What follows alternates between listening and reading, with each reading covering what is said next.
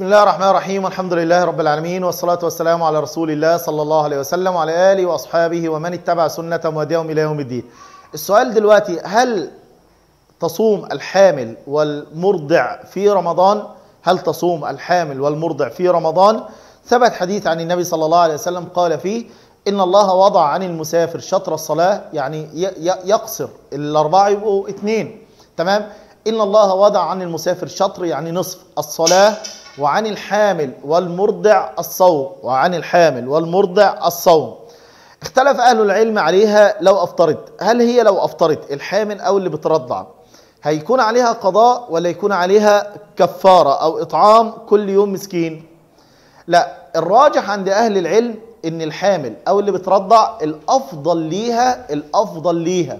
تمام؟ وتسمع كلام النبي لأن في ستات بتنشف دماغها. تمام؟ الأفضل ليها إنها تفطر. وتطلع عن كل يوم تفطر فيه إطعام مسكين ليه بقى؟ لأن هي يبقى صعب عليها جدا يعني أنت مثلا هي حامل في تسعة أشهر أو حامل يا عم نقول مثلا شهر رمضان بحاله طب أنت حامل جالك عليك شهر رمضان قد 30 يوم وغير كمان عندك عذر شهري هتقضيه بعد فهتقضي ال 30 يوم كلهم في السنة كلها إزاي؟ لأنها هتخلص حمل من هنا هترضع من هنا فبرضك عندها نفس العذر وهي بترضع تمام؟ هتنتهي فترة النفاس بعد كده هيجي لها شهور يبقى عندها عذر شهري فالأيام عندها تبقى كتير جدا. فهتصوم إيه ولا إيه؟ أنت فاهمني؟ يعني تخلص حمل فترة نفاس وبعد فترة النفاس هترضع. وبعد ما هتخلص ال ال وهي في الرضاعة اجلها العذر الشهري. فبالتالي يكون عندي أيام عددها كبير جدا جدا جدا سواء على الحامل ولا سواء على الست اللي إيه؟ على الست اللي بترضع.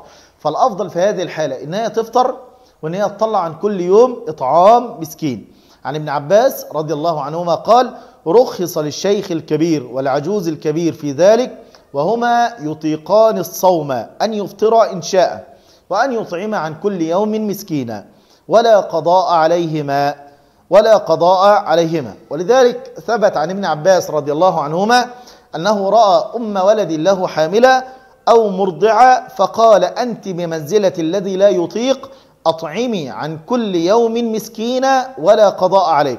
وثبت هذا الأمر أيضا عن ابن عمر رضي الله عنهما أن امرأته سألته وهي حبلى فقال أفطري وأطعمي عن كل يوم مسكينا نفس الحكم ده يا جماعة بينطبق لو أنا دلوقتي جبت واحدة ترضع عيل من عيالي.